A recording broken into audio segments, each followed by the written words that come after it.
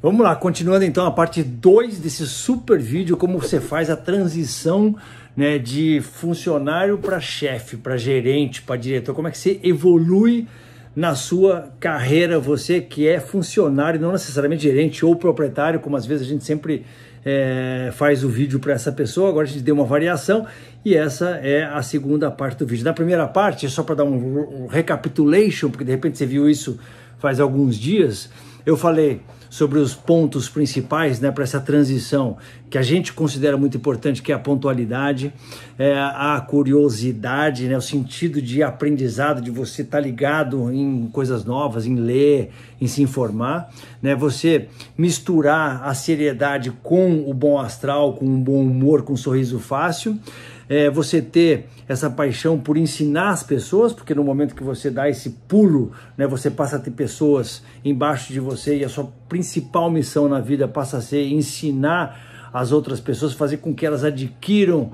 mais conhecimento para executar melhor os seus trabalhos, né? E aí agora a gente começa a segunda parte. Então aí eu já posso falar com um pouco mais calma, porque aí cada ponto tem que ser bem é, digerido, né? Então vamos lá. É, outro ponto, a diligência. Diligência é fazer, é você fazer o que tem que ser feito. Então, isso eu coloquei até num áudio do Telegram outro dia, que eu conheço muitas pessoas que sabem o que tem que fazer, mas não fazem, simplesmente não fazem. A pessoa sabe que tem que chegar lá todo dia e fazer um checklist, sei lá, na cozinha. É pá, pá, pá, antes de abrir a casa, no salão, pá, pá, pá, mas ela simplesmente negligencia, ela não faz. Ela sabe que tem que fazer uma reunião é, todos os dias com a sua equipe de salão para ver o que aconteceu né, no turno passado, o que, que dá para melhorar, o que, que não tem na cozinha, de repente que vai afetar o serviço, que já falou com o cozinheiro, já viu a listagem de coisas que não tem, porque sempre tem coisa que falta na cozinha. Enfim, a pessoa sabe o que, que ela tem que fazer, mas por algum motivo não faz. Então, isso é falta de diligência. Então, você ser diligência é uma prerrogativa fundamental para você ser promovido, tá? Escuta o que eu estou falando, diligência. Outra coisa, disponibilidade. O que é disponibilidade? É, é você como chefe, você como proprietário, o que você espera dos seus é, funcionários? Quem que você quer promover na sua operação? Aquela pessoa que se apresenta. Aquela pessoa que você está com algum problema, né? Você como gerente, como proprietário, está com algum problema, está pensando em alguma coisa, a pessoa já está ali. Fala assim, posso te ajudar nisso? Quer que eu te dê uma força? Olha, eu nem sei direito como fazer, mas, cara, vamos tentar solucionar isso junto. Quer dizer, você ter essa disponibilidade, você se apresentar na operação é fundamental para você pavimentar o seu caminho para ser promovido. Outra coisa que isso acho que eu, o que eu considero uh, a parte mais importante de você ser líder de uma equipe, de você ser gerente de uma equipe, é saber se comunicar bem. Então, isso é uma habilidade fundamental. Para quem quer ter uma equipe, para quem quer ser um chefe, ser um gerente, se você não se comunica bem, cara, está perdido. Não vai rolar. Isso é uma coisa que, graças a Deus, ainda bem, é uma coisa que dá para ser aprendido. Porque não é todo mundo que nasce sabendo se comunicar, tá? Mas é uma coisa que você pode aprender, tanto verbalmente quanto é, por escrito, né? É, é uma habilidade a ser aprendida a comunicação. E é fundamental se você quer ter uma equipe, saber se comunicar com a sua galera, saber é, ser assertivo na comunicação, saber dar o recado certo, saber falar com uma voz para fora quando está falando com mais pessoas, saber dar um recado por escrito, tá legal, escolhendo bem as palavras para as pessoas quando você quer influenciar as pessoas, porque gerenciar, chefiar é a arte de influenciar pessoas. Isso a gente faz através da comunicação, tá? Muito importante. Talvez a habilidade mais importante que tenha na pessoa que quer ser promovida, tá? A chefe, a gerente, a diretora, a presidente, é o que seja. A comunicação é a habilidade mais importante, ponto final.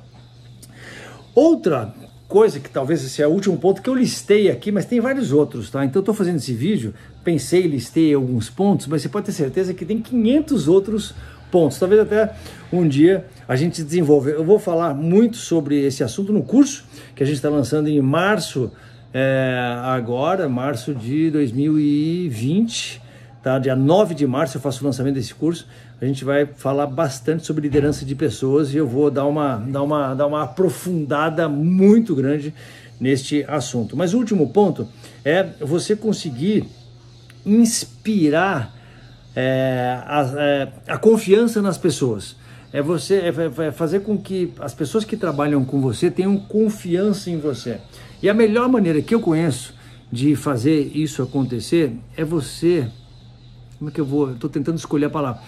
É, é você não trair a confiança das pessoas que trabalham com você. Como você deve estar se perguntando, eu faço para não trair a confiança das pessoas que trabalham comigo? É principalmente você não falar mal das pessoas pelas costas, né? É você não ter, você se proibir, você se dá a missão de se proibir de falar das pessoas sem que elas estejam presentes. Isso para um líder, para um chefe, para um gerente é uma, é, uma, é uma coisa muito importante.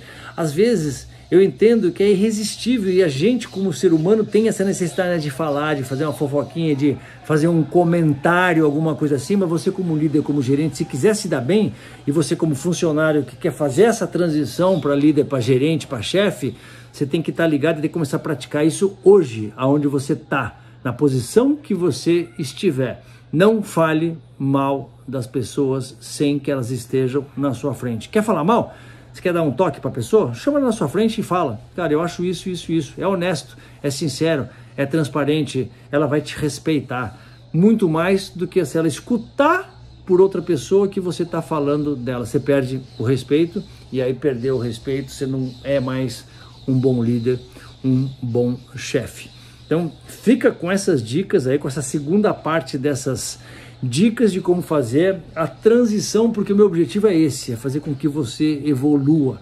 Tá? Se você é garçom, eu quero que você seja meta, se você é meta, eu quero que você seja gerente, se você é gerente, eu quero que você seja diretor, se você é diretor, eu quero que você seja proprietário do seu estabelecimento. Eu quero que todo mundo que me siga nesse canal faça essa transição, tenha essa evolução na vida. É para isso que a gente está aqui. É só para isso que a gente está aqui, que eu faço esses vídeos e que eu me dedico a te ensinar essas coisas. Tá bom? Um grande abraço. Até a próxima.